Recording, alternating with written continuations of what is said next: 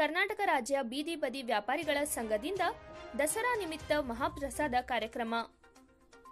ಕಲಬುರಗಿಯ ಗಾಜಿಪುರ ನಗರದಲ್ಲಿ ದಸರಾ ಹಬ್ಬದ ಪ್ರಯುಕ್ತ ಸಾಧಕರಿಗೆ ಸನ್ಮಾನ ಸಮಾರಂಭ ಕಾರ್ಯಕ್ರಮವನ್ನು ಹಮ್ಮಿಕೊಳ್ಳಲಾಯಿತು. ಈ ಉದ್ಘಾಟನೆಯಲ್ಲಿ ಮಾತನಾಡಿದ ಮಾಜಿ ವಿಧಾನ ಪರಿಷತ್ ಸದಸ್ಯರಾದ ಶಶಿಲ್, ನಮೋಶಿ, ಮಹಾಮಾರಿ ಕೊರೋನಾ ಎರಡು ವರ್ಷ ಯಾವುದೇ ಹಬ್ಬ ಆಚರಣೆ ಮಾಡಲು ಸಾಧ್ಯವಾಗಲಿಲ್ಲ. ಕರ್ನಾಟಕ ರಾಜ್ಯ ಬೀದಿ ಬದಿ ವ್ಯಾಪಾರಿಗಳ ಸಂಘದ ಅಧ್ಯಕ್ಷ ಸೂರ್ಯವಂಶಿ ಅವರು ಕೊರೋನಾ ಸಂದರ್ಭದಲ್ಲಿ ಜನರಿಗೆ ತುಂಬಾ ಸಹಾಯ ಮಾಡಿದ್ದಾರೆ. ಪತ್ರಿಕಾ ಮಾಧ್ಯಮದವರಿಗೆ ಹಾಗೂ ಸಾಧಕರಿಗೆ ಈ ಒಂದು ಕಾರ್ಯಕ್ರಮದಲ್ಲಿ ಸನ್ಮಾನ ಹಮ್ಮಿಕೊಳ್ಳಲಾಯಿತು. ಇದೇ ತರ ನಿಮ್ಮ ಸಾಧನೆಯನ್ನು ಮುಂದುವರಿಸಿ ಎಂದು ನಾನು ಬಯಸುತ್ತೇನೆ ಎಂದು ಶಶಿಲ್ ನಮೋ ಶಿವ ಅವರು ಮಾತನಾಡಿದರು.